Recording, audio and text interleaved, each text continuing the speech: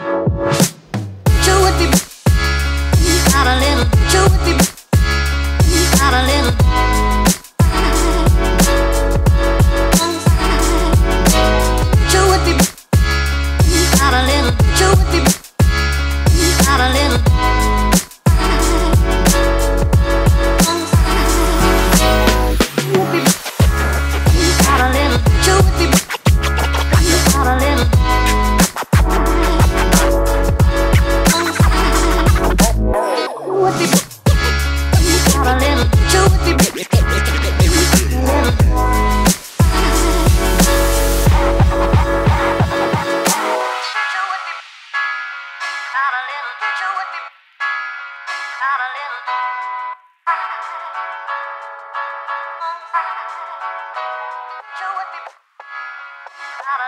Got a little.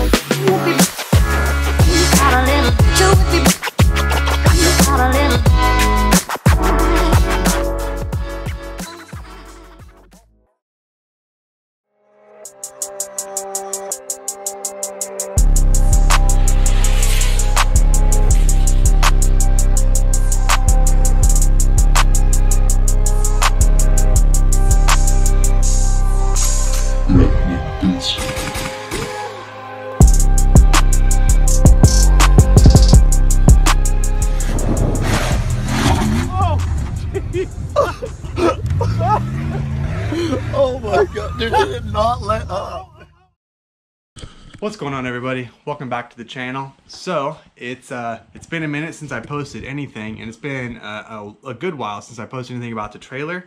Um, I just kind of need to take a few months um, to financially catch up. you know, that happens. Um, but uh, I'm caught up, everything is good and we are back on track and uh, I actually just ordered and received this big pallet of insulation. So that is what we are going to be doing. We are going to be insulating the walls finally. I'm super excited for that. Um, it's to be a lot of work because we have to take like all of the trim off and everything and then all the walls down and then we're doing the ceiling too. Um, so, but it should be a really big difference. Our old trailer that we had was beautiful and wonderful, but I never insulated the walls and you could tell it it's it's necessity. So uh, I'm super excited. Let's uh, let's get into it. Before we get too deep in today's video, take a look at my new hats. Uh, we just had these done. These are some super sick Richardson. Um, they are leather patch, which is super cool. I've never had leather patch hats done before. I've wanted these for a long time. Um, they're kind of a pain in the butt to have done uh, locally here. So uh, this is probably maybe the only batch I'm ever gonna do of these, but they're super awesome. I have them in flat bill or curve bill. Um, and they should be live on the website by the time you guys are seeing this. So shopbackyardbeaters.com, go get you one and uh, rep the brand. Thanks. So today we are back on the Crawler Hauler conversion series and uh, we're gonna be doing a pretty exciting diesel heater install. Um, so I'm super stoked about this. I already opened this as you can see, but I haven't gone into it too much. Uh, Vevor, they've sponsored this channel once in the past. Um, they sent me the TIG weld that I gave away and they reached out and wanted to sponsor again, which is awesome to me because I was actually looking on getting one of these anyways. So uh, huge shout out to Vevor. So what this is, is a 12 volt diesel heater. It's an all-in-one package, as you can see. It's like a like a little welder lunch pail thing. They do sell these in like a like a blown apart kit so you can have like just the heater and then the tank and the pump and the wiring and stuff and you can mount it all yourself. Or you can buy this which is just kind of the all-in-one kit so you can move it around. Let's uh plug it all in and fire it up see if it works.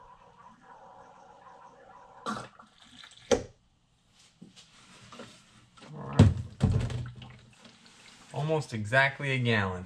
That's how long how much it holds from what I've read, uh, that's about all you need. These run for, they're super efficient on fuel. Well, you can hear blowing. ripping. The exhaust is really hot, like really hot coming out of there. I can put my hand about there for about that long until it starts to burn. I mean, it's probably as hot as my, my propane heater, you know, that I usually use. Um, I did crank it up with both the remote and the screen. They both work. The fuel pump has gotten way quieter now that it's like running and going. I mean, I can I can hear it, but barely. It's just a little tick, tick, tick, tick, tick, tick. Um, the fan is so loud that it overpowers it. You know, it just sounds like a furnace. So, pretty stoked on that. I imagine there's like a cool down cycle or something. You can't just like turn it off. But I mean, that's pretty good. It shuts up pretty quick.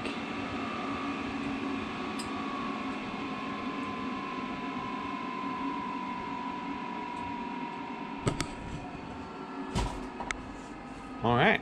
Thanks, Vevor. All right. Lights on. Get to work in here. So, um, ended up being just some one inch. I'm going with the Pink Panther stuff. This is super normal. Uh, everybody who insulates these uses those for the most part, and I used it on the ramp already. So this is already insulated with that. And then additionally, I got a whole bunch of silicone. So the silicone is going to be for, I want to run a bead anywhere that the aluminum is connecting to the steel. Um, like see where these screws are? These are all spots for water to get in. That's gonna be quite the task. Um, but I'm just really trying to ensure that no water gets in. Our last one, the walls warped because water got in somehow, some way. And you can see all of these little trim pieces, these all have to come off on the ceiling and the walls, all of them. The floor, they have these, these trim on the bottom here. They have to come off. Um, and then from there, it's just zipping these little screws off. The aluminum corner panels need to come off. Um, and those are actually gonna stay off for the time being because that's how I'm gonna run my wiring. All my wiring is gonna run uh, inside here, basically on top of these boards. Um, and then they can go down to the outlets. And these will just be beauty plates that go over the top of it all. Got a little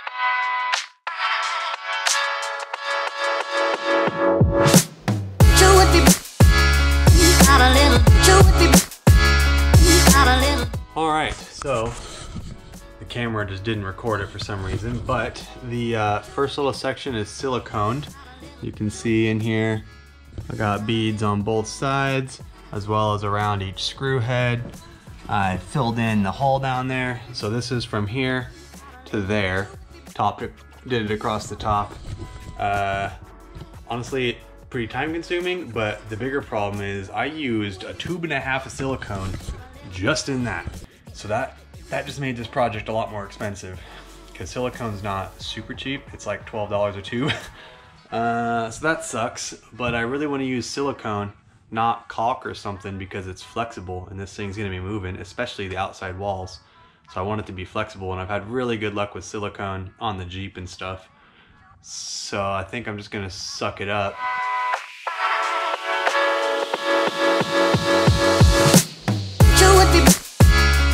Got a little. Got a little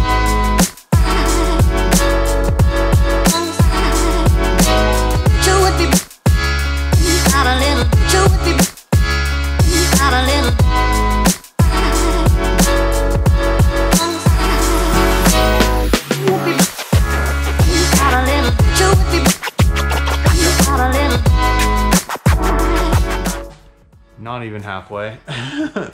this is gonna be a lot of work. All right, so it's the next day, and uh, last night I got all of the walls, uh, beams, uh, silicone and sealed. Um, you can see in here, they're all nice and sealed all the way down. I did across the top as well as along the bottom. Um, so no water getting in. And then you can see today, I did a couple practice runs here on some scrap pieces of the insulation. Um, you can see that uh, they're fitting in here nice. Um, I'm not totally sure about, you know, these seams where there are multiple pieces together. That's gonna happen for sure, especially on these pieces like this beam where there's a lip here I gotta go in and a lip on this side that I have to go in. The only way I was able to do that is to slice it down the middle and kind of like push it in. So I'm not sure. Maybe I need to go get some insulation tape or something to cover those. Maybe it's not a big deal. I don't know. I'm not an expert at this. I'm just kind of winging it. Um, I also am doing some of these little one inch pieces to go in between the two beams, just kind of shoving them on top of the screws there. Um, I think that's important. Otherwise there'd be a pretty big gap here of lack of insulation all the way down the trailer.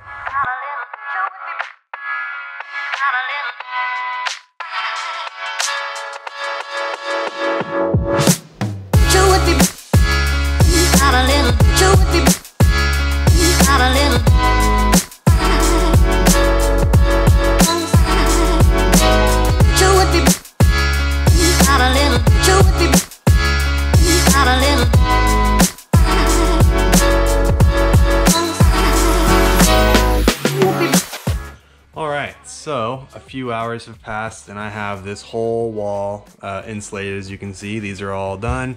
Um, and I also haven't done the beams yet um, because even with uh, just cutting this little one inch uh, insulation, it's taking forever and uh, I don't, all right, camera is not cooperating. Switching to the phone. Um, anyways, this uh, little, you know, cutting one inch strips to go up there is taking forever. And this, this stuff's kind of hard to cut that small. Like it's easy to cut down the middle of a big piece, but the little pieces are hard. So I, I did buy some of this Right Stuff foam, um, which I've heard people rave about online, uh, specifically for this and uh, down at the bottom. So you can see I used it uh, down here where they actually already were using foam from the factory. So I'm going to let that cure overnight and see how much of a pain in the ass it is to clean off because obviously that needs to be flat. Um, and if that is easy to do, then I'm just gonna go ahead and do that for all of the cracks because it was way quicker. I mean, that took me like 30 seconds. Uh, and then I can just use all the foam for the actual walls, which is what I bought it for, so. All right, guys, so I literally went and bought a new camera today just for this video. My old one was just wigging out, I don't know, so let me know how this looks. Hopefully it's working good and you can hear me.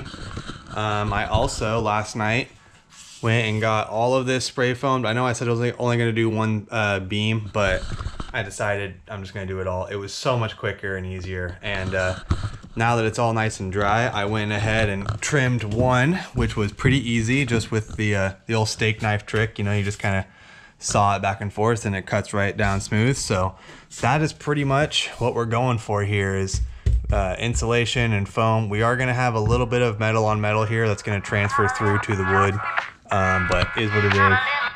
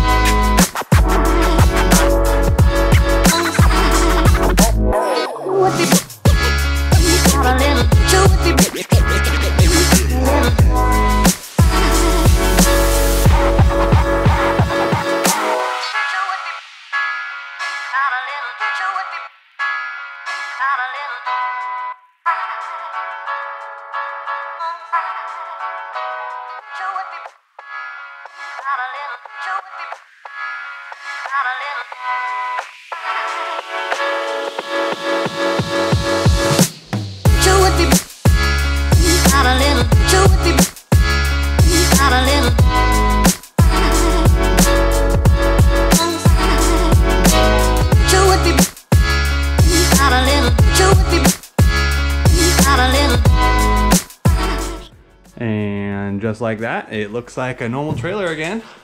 So I'm pretty happy with that. I'm going to leave all of the little trim pieces off for now because I need to do my outlets and wiring and uh, those are just going to get in the way. Um, they need to be trimmed afterwards, anyways. So currently, we're going to be left with this little ugly gap here that is temporary, and I'm not worried about it.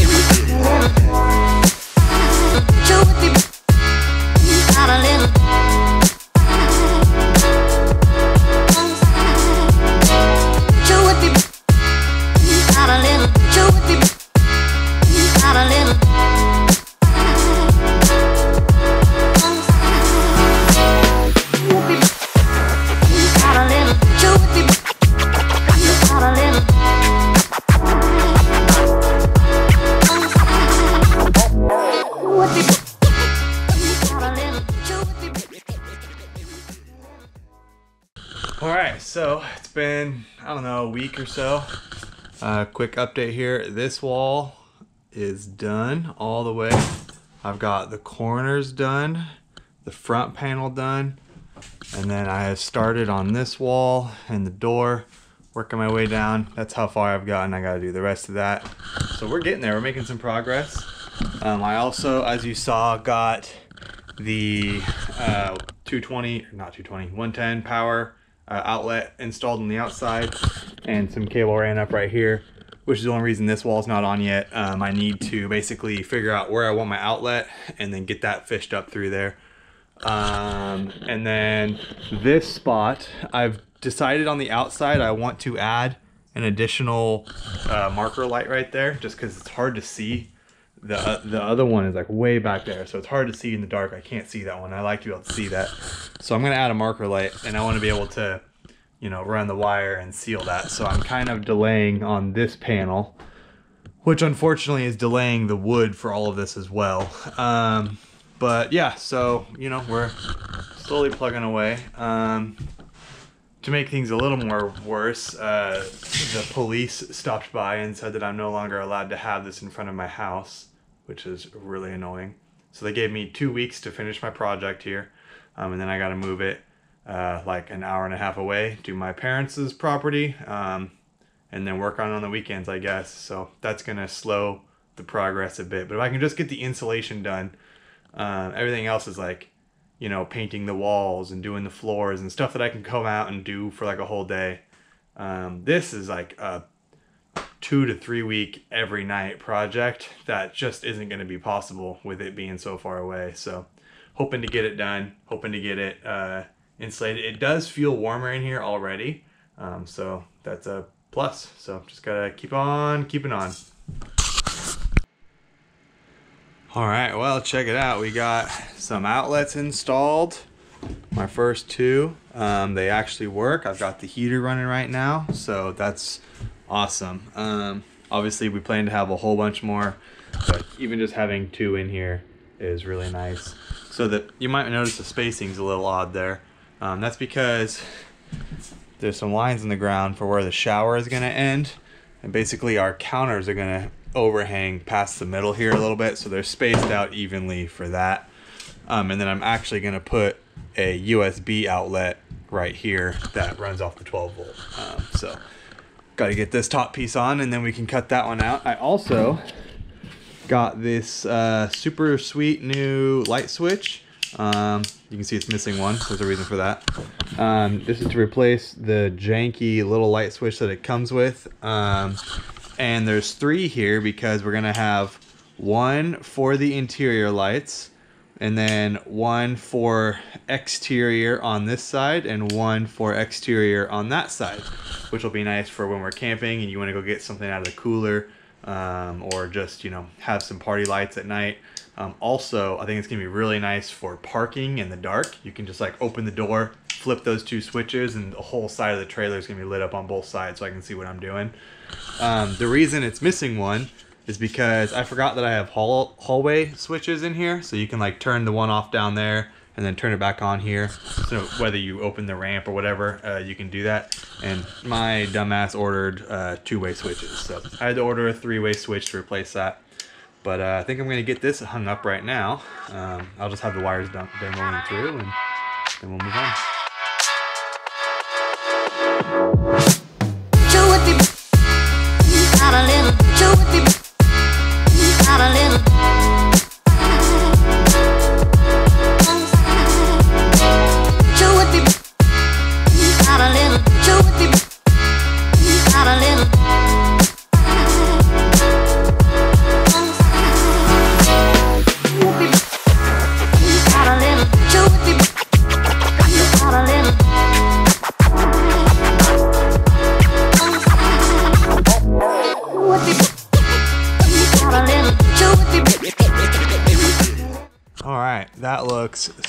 Much better than this little janky thing that we had on there from the factory. These have a really nice feel. Super stoked on that. Uh, obviously, this will be better once I get that other switch in the mail. So, uh, moving on. All right, so it's been a couple days, and as you can see, the whole trailer, all the walls, are insulated all the way around. I have most of the boards back up, um, so I'm very happy to have that bit done. Still got to do the roof. Um, that's probably next after a few quick things I want to do before I put these walls back up. Um, first thing being um, this marker light. So I really want to add a marker light basically right here on the front um, because the first one is way back here for some reason.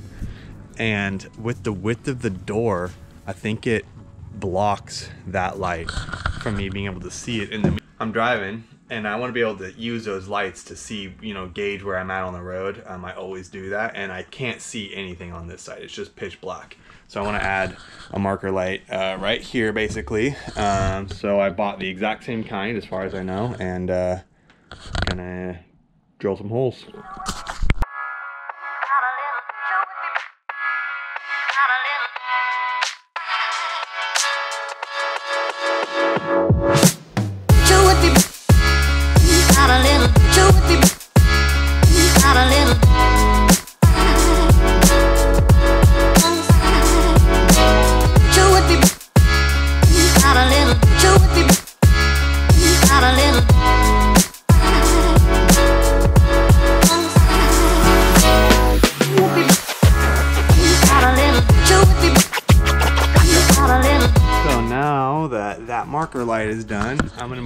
To some exterior lights. So I got uh, two, four, six of these. Um, these are just some LED outside lights. Um, and I'm going to put two on each side of the trailer and two on the back for loading lights. And then on the each side is going to be independently switched right here. So you can see there's three. The first one's going to be for the interior, and then the other two, one's to be for one side, one's to be for the other side. Um, again, the idea is for parking. Um, it'll be nice in the dark, or for you know camp lights, so we can turn it on depending which side the door is on. It's almost always to be this side, but I figured it's pretty quick and easy to add on the other side. So I already have them laid out up top where I want them. Um, one right over the door, as you can see, and one right in between those two marker lights down there. Um, so drill some more holes.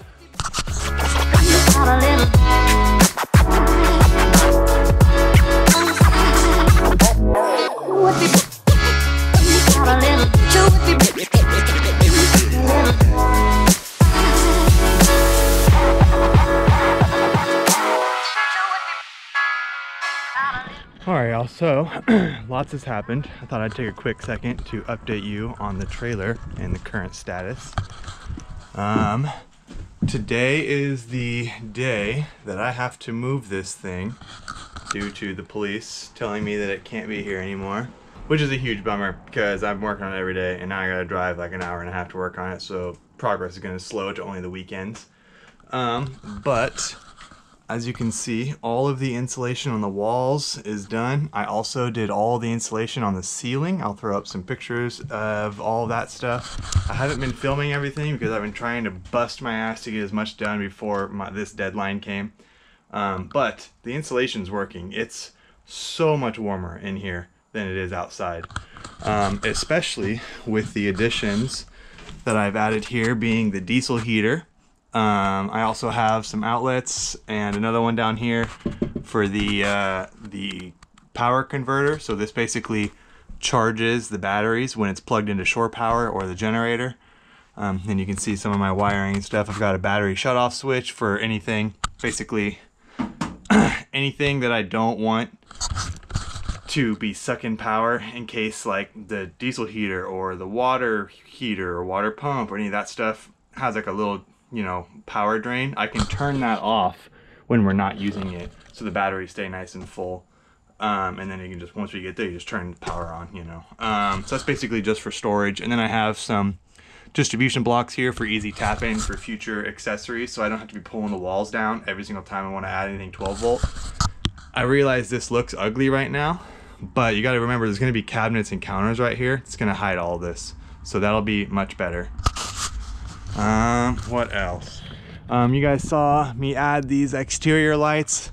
These are wired in. They now work. Um, I have the interior lights on here, the driver's side uh, exterior lights here, and the passenger side exterior lights here. So we can turn them on independently. I'll turn around, walk around here and show you guys. I got the lights up there as well, one on each side. Um, I'll throw up a quick video of what that looks like at night. Huge difference, super happy with that. Um, I'm not sure if you guys have seen this yet or not, um, but this is my 30 amp shore power plug I got. So this powers the uh, interior outlets, the 120 outlets. Um, obviously you need to have that plugged into something. Uh, shore power, obviously, stuff like that. And then, let's see, what else? I also got the diesel tank. I built this mount for it. Um, this is just welded on here right now. And then you can take this off to get to it. And then this runs down to the diesel heater. So now there's no more diesel in the cab, which is nice because it did have a, a minor diesel smell. It no longer does. Um, and then on top of that, this is now the exhaust exit. So I added this pretty little beauty plate. So the exhaust runs um, straight down and out and it's all nice and buttoned up in there. Um, I'll throw up some pictures of some like uh, the basically the heat shield that I did for the floorboard. Uh, this diesel heater from Vevor, remember this was a sponsored thing, so this is super cool. This was all meant to be one big unit, and I just took the diesel tank out and put it outside. It's really the only thing that I've done, and then I extended the exhaust outside. Um, but this runs off the 12 volt, so no generator needed. We can just turn it on at any point, and it has a, a key fob, so we can hang this key fob in the back by our bed, and you can just turn it on, and it starts going. And it's all on a thermostat. It works so good. I cannot believe how much of a difference how much of a difference that one little heater made. Um, I can be out here, it was cold, cold, cold, like snow in here cold, and I was out here in a t-shirt working on the installation before I was even done. So super stoked on that. That should definitely uh, be a game changer between the insulation and the heater. Um, you might see that I actually have another key fob here. And this is for my fancy new toy that I just picked up. If I walk around the back. Dun, dun, dun. So I went and got Predator 5000 super quiet generator. Um, and this is electric start with a key fob as well. So the theory being when we go camping, I can roll this out to the tongue. I need to find some way to secure it to keep it from being stolen. Plug it in, and then Joey, in the morning when she wakes up, if she wants to make coffee, turn on the TV. Well, the TV runs off the 12 volt. I don't know anything that needs the generator. She doesn't have to wake me up to go out and like pull on the generator. She can just push the on button and it fires up, and we have power in here. Um, and then turn it off just like a normal camper. So, and then it, it's on wheels with a nice handle, so it rolls really nice and easy. And just put it back inside when we're done, you know, for the weekend. Um, just gotta find a way to secure it to the tongue. I'm not sure. Thinking maybe like a bike lock or something around that. Not totally sure. But we will see. Um, that's basically the update. As you can see, I'm not even close to done in here. We don't have any of the trim pieces back up yet. The roof is like half-ass put back on. Um, it's a big bummer that I got to move this thing. It's to really slow things down, but uh, I, at least once it's moved, the stress of, oh gosh, I have to move this will be gone and uh, I can get back to filming like everything because um, I've been just trying to get as much done as I can. So the filming has been put aside, but uh, the rest of the build will be better filmed. And uh, yeah, I mean, I'm really, really anxious to get the floors done so we can start doing, you know, all because I, I want to epoxy the floors before I do the Jeep mounts, the tie downs, and the in-floor winch mount. I want to cut those after I epoxy the floors. So, plus I'm just like destroying the floors walking in here. So I really want to get those done. And uh, yeah, I think I'm going to call it here. Um, and thanks for watching and hope you stick around for the next one.